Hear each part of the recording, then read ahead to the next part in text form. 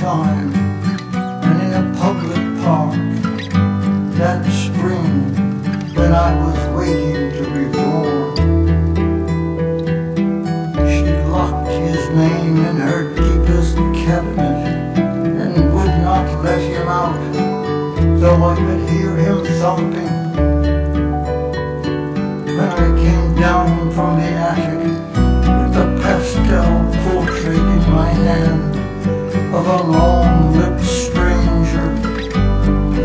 brave mustache and deep brown level eyes. She ripped it into shreds without a single word and slapped me hard.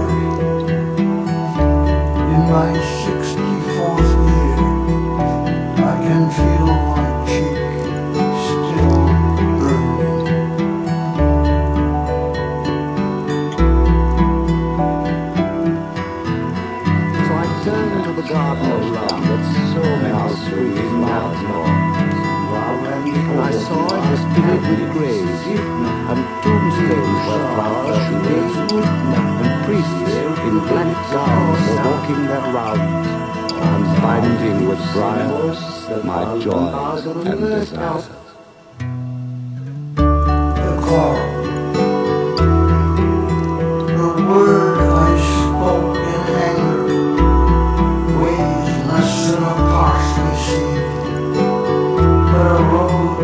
house.